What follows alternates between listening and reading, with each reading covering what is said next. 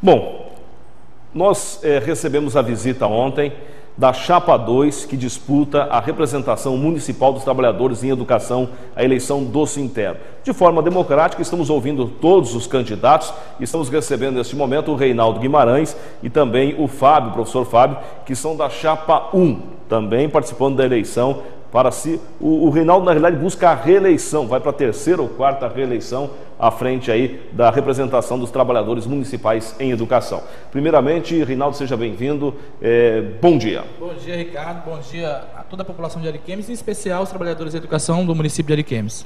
Professor Fábio, seja bem-vindo. É uma honra. Bom dia. Bom dia, bom dia a todos que estão nesse momento ligadinho aí no Bronca da Pesada, em especial a todos os trabalhadores de educação do município de Ariquemes. Bom, Rinaldo, eu vou começar a apresentação. É, professor há quanto tempo? Oh, é, na realidade, professor, na realidade, a gente trabalha na educação desde do, 96. Eu, na realidade, professor, eu sou desde 2000. Na realidade, eu comecei como técnico na educação, trabalhei de 96 a 2000 em técnicos. E em 2000 eu me formei na, na pela FIA, licenciatura curta, em matem, ciência e matemática, depois fiz complementação e estou na educação, desde, na realidade, desde 96 eu estou na educação. Há quanto tempo eu estou na área da educação? É, na verdade, a gente trabalha na área da educação desde 2002, mas efetivamente tem aproximadamente três anos que a gente está no quadro efetivo do município. Bom, o Rinaldo, da chapa de vocês são quantos? Na realidade, nós queremos apresentar a nossa chapa. Nossa chapa, é, hoje aqui está eu e o Fábio, que somos titulares. Nós também temos dois suplentes, que é o professor Ailton Braga, que trabalha na Escola Polo, e a Iriane é, Lopes, que trabalha na Escola Mário Quintana, que é técnica. Na realidade, esse ano, Ricardo, no próximo mandato do sindicato de representação municipal, vai ter dois titulares. Porque esse ano nós tivemos uma grande quantidade de filiados e, conforme a lei, permitiu ter dois diretores filiados. Então, no próximo mandato, agora vamos ter dois diretores filiados ao sindicato, liberado à disposição do sindicato. Então, esse ano, é, no próximo gestão, vai ter. Então, ficou eu e o Fábio titulares, e o Ailton professor Ailton Braga e a Iriane suplentes. Eles não puderam vir hoje, que na realidade eles estão lotados nas escolas. O Fábio, um, é que o Fábio trabalha no período da, da noite, então ele teve como, mas eh, tanto a Iriane como a Ailton, eles estão trabalhando agora no período da manhã, ele não pôde se fazer presente nesse, nesse momento aqui hoje. Bom, nós vivemos num país de democracia, né? Quando tem uma eleição, o que, que acontece? Igual a Dilma e o Aécio. O Aécio ataca a administração, a Dilma se defende. Para governo, nós tivemos o Confúcio e o Expedito, né? O é. Expedito fora ataca o governo, o Confúcio se defende. Bom, ontem a, Chapa 2 atacou a, a, direção municipal. Eu gostaria que você falasse, o, o Rinaldo, é, das conquistas. Quais são as conquistas quando você esteve à frente do, do, da, da, categoria, é, que mais marcou, que realmente você falou, essa conquista realmente marcou, mexeu com a categoria?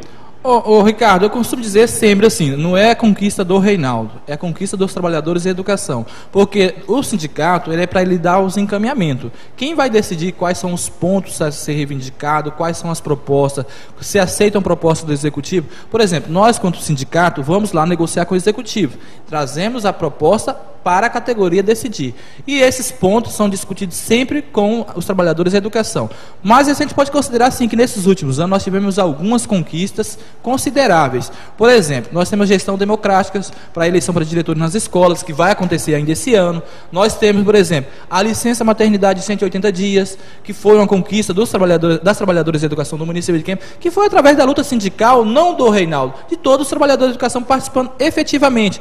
Nós também temos a situação do piso salarial do magistério, que conseguimos amarrar em lei que o piso do magistério é uma lei nacional automaticamente todo ano tem um reajuste do piso do Magistério Nacional. Só que aqui em Ariquemes nós conseguimos fazer um diferencial dos outros municípios, amarrar uma diferença do graduado para o magistério. Automaticamente, quando tem o um reajuste do magistério, o graduado também tem esse reajuste. Nós conseguimos reformular no plano de carreira, nós conseguimos colocar no plano de carreira, que o nosso plano de carreira era só do magistério, não incluía os técnicos, nós conseguimos fazer um plano unificado que abrange todos os trabalhadores de educação do município, desde da zeladora, da merendeira, do vigia, do motorista, está todo todos nós num único plano, o plano da educação, no plano de carreira da educação, que contempla todos os trabalhadores. Nesse plano de carreira, nós tivemos alguns benefícios, tanto para os técnicos, para os motoristas, para os professores. Por exemplo, mudança de nível automática. Nossa mudança de nível no, município de Ariquemes não era automática, acontecia de ano em ano. Quem tinha certificado poderia terminar essa graduação, precisava esperar um ano para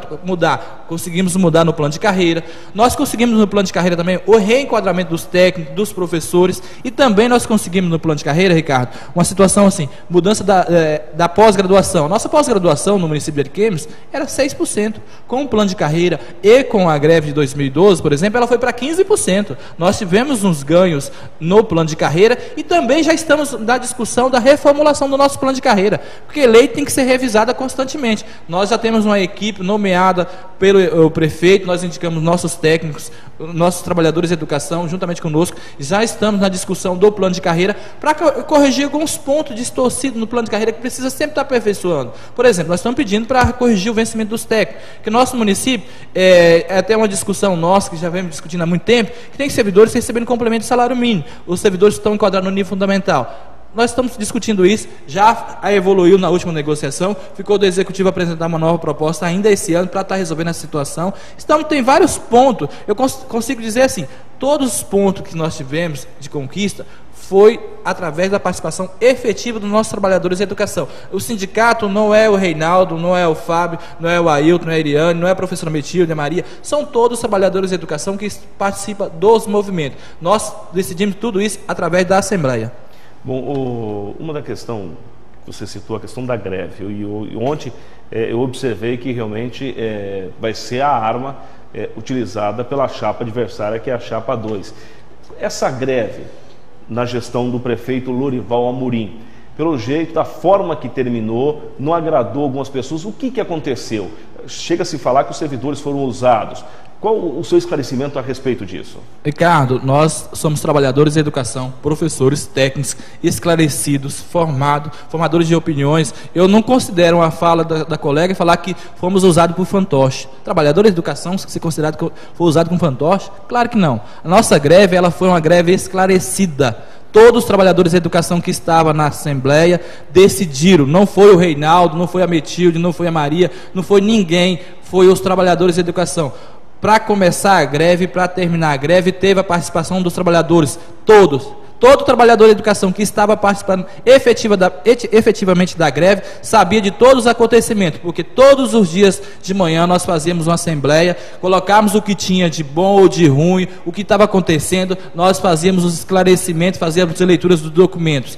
Nós começamos a greve, deliberado pela categoria. Foi a categoria que deliberou a greve, foi votada em assembleia para decidir começar a greve. Então, quem decidiu começar a greve foi os trabalhadores de educação. Nós fizemos os encaminhamentos necessários.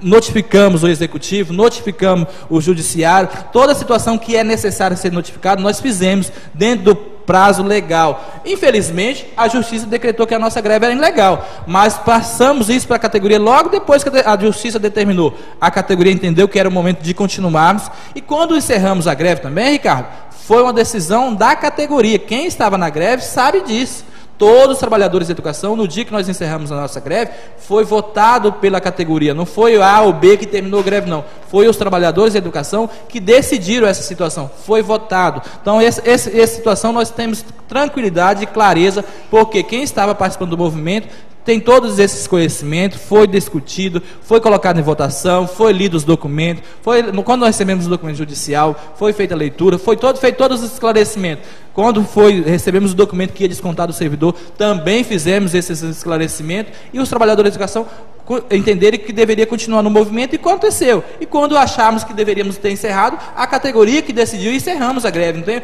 então essa, esses esclarecimentos, Ricardo, foi feito com tranquilidade com os trabalhadores de educação do município e foi negociado sim. Mesmo com a greve, o povo fala assim, não conseguimos muitas coisas, conseguimos sim. Por exemplo, a reposição salarial só veio depois da greve. A reposição do piso para todo mundo só veio depois da greve. Então tem outros pontos que nós estamos discutindo até hoje do plano de carreira, que já avançou alguns pontos, também foi através da greve. Então é necessário ter esse esclarecimento, mas os trabalhadores de educação que participam do movimento ativamente sabem de todas as situações, Ricardo, e conhecem toda a situação.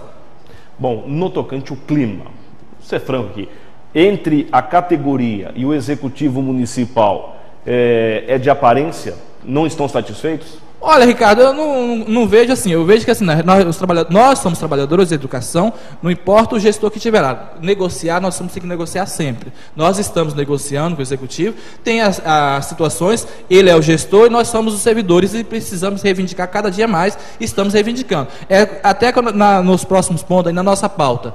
Proposta de trabalho. A proposta de trabalho nossa é transparente e clara, vai ser decidida em assembleia A Assembleia que decide qual é o ponto que nós vamos reivindicar em pauta do ano que vem. Por exemplo, nós, independente da situação, nós vamos fazer a Assembleia elaborar a pauta de reivindicação de 2015. É através dos trabalhadores da educação que nós vamos negociar com o Executivo. O Executivo está negociando, precisa evoluir mais em alguns pontos, claro que precisa, mas esse também tem esse diálogo, está negociando. Nós temos, temos as comissões permanentes de acompanhamento dos representantes municipais. Em cada escola tem um representante e também temos a comissão do plano de carreira que está negociando com o executivo. Sempre que é necessário, nós estamos fazendo essas reuniões para ter essas negociações. De é, contente ou não contente, aí ah, cada um tem um jeito de pensar ou de coisa. Eu sempre assim, nós somos trabalhadores educação e vamos continuar reivindicando os nossos direitos, as nossas conquistas, é através da luta, através da união dos trabalhadores de educação. Eu quero constar ainda alguns pontos depois quero passar a falar para o Fábio também, que já está falando muito. é, na realidade, vou, nós temos alguns pontos da nossa pauta de reivindicação, Ricardo, que é, por exemplo, regularizar nossas férias dos trabalhadores de educação. Os professores hoje, perante a lei federal, têm 45 dias de férias. No município de Ariquemes também tem esse direito que todos os professores possam ter esse direito e que seja regulamentado que 15 dias seja no final do primeiro semestre. Então tem que ser no primeiro semestre, é, terminou o primeiro semestre, tem direito aos 15 dias para todos os professores. O outro ponto que nós estamos reivindicando, férias, começa na segunda-feira, no primeiro dia útil. Está começando nossas férias no, no sábado. Já viu começar a férias no sábado? Sábado você vê público no trabalho, por que, que as férias dele estão tá começando no sábado? Tem que regularizar essa situação. Nós estamos é, reivindicando corrigimento do vencimento dos técnicos, a mudança de nível do estágio probatório. Nós temos professores que termina, é, faz um concurso, muda, leva o certificado para melhorar a pontuação de, de pós-graduação, na hora de receber do município, não estão recebendo. Então nós estamos reivindicando essa situação, já está em discussão com a secretária, ela já deu o parecer esse favorável, está no, no jurídico agora para dar essa resposta para nós, para estar tá resolvendo, que o servidor que ele, que ele tenha esta é, pós-graduação, ele tomou posse, ele possa direito de receber com essa pós-graduação também, logo que toma posse. Estamos reivindicando esse ponto, e os outros pontos será elaborado na Assembleia com a categoria para elaborar a pauta de 2015, Ricardo. Bom, a campanha é tudo vapor. Estão visitando escolas, conversando com os trabalhadores, é isso? Ricardo, até agora a gente tem visitado, tem recebido apoio, tem recebido crítica, porque ninguém é unanimidade, certo?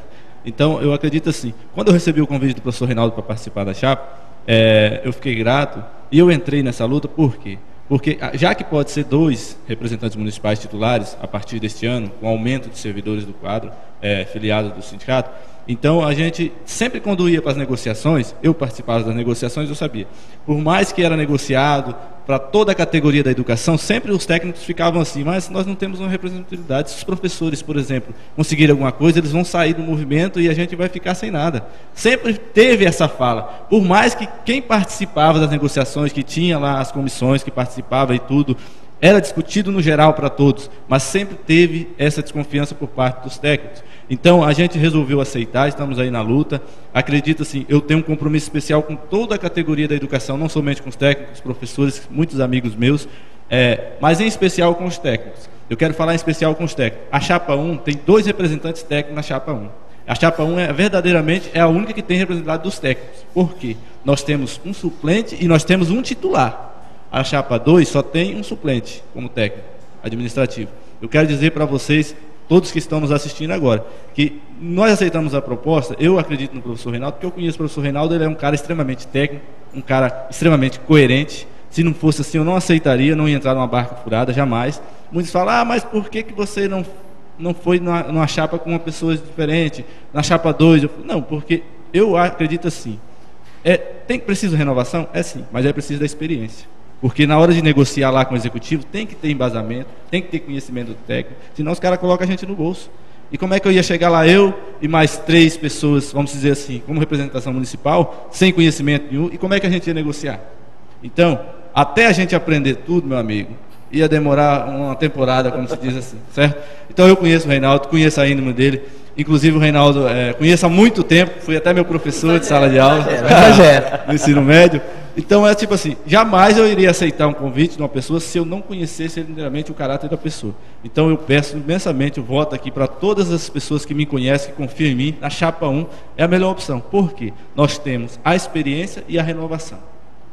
Bom, o, Rinaldo, essa questão de, por exemplo, é importante esse confronto de ideias, né? Porque é, é, é, democracia, né? É democracia, é um processo democrático, Ricardo. E a gente, assim, faz parte do processo, cada um tem o seu modo de pensar, o seu jeito pensar, mas a gente quer é, reforçar o pedido aqui, Ricardo, e para o dia 3, só fazer alguns esclarecimentos.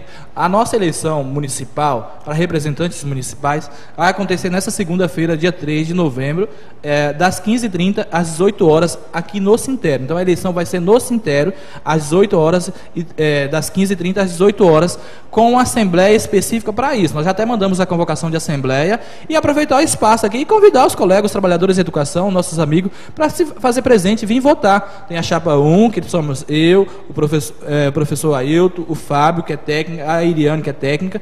Estamos pedindo voto para a chapa 1, mas eu gostaria que todos os trabalhadores de educação que, que é filiado ao sindicato a nível municipal pudesse vir votar sim para estar tá, eh, podendo escolher seu representante municipal por os próximos três anos. Porque eu tenho um entendimento assim, dependendo de quem ganhar ou não, a luta tem que continuar. Qualquer coisa que vamos conquistar ou não é através da luta do movimento sindical dos nossos trabalhadores de educação. E reforçar o pedido para a Chapa 1 e fazer outro esclarecimento, Ricardo. A eleição municipal é dia 3, é, na, no Sintério, e vai ter também a eleição estadual. A eleição estadual do Sintério, para representação estadual, será no dia 6 Aí as, as, urnas vão passar nas escolas. Também estamos pedindo voto para a Chapa 1, que é a professora Metilde, a professora Maria Maria, é, a professora Maria Rossetti, o Stanislau, é o professor Stanislau, e a Mirene, que é uma, uma técnica de Machadinho também estamos pedindo voto. Só que a dia 6, a urna vai passar nas escolas. Então, os trabalhadores da educação, tanto federal, municipal, estadual, votam na eleição estadual. A eleição estadual, todos os filiados têm o direito a voto. Na eleição municipal, só os municipais que votam,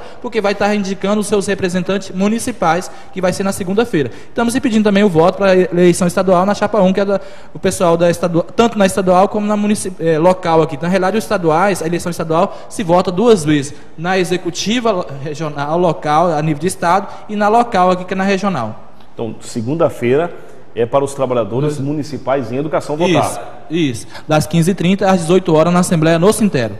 Vai saber de cédula e tudo, lista de presença, urna, tudo em tranquilidade. A apuração após as 18 horas. Após as 18 horas encerrando, já podemos começar a apuração. Então tá certo. Deixa o microfone para pedir seu voto. Fique tranquilo.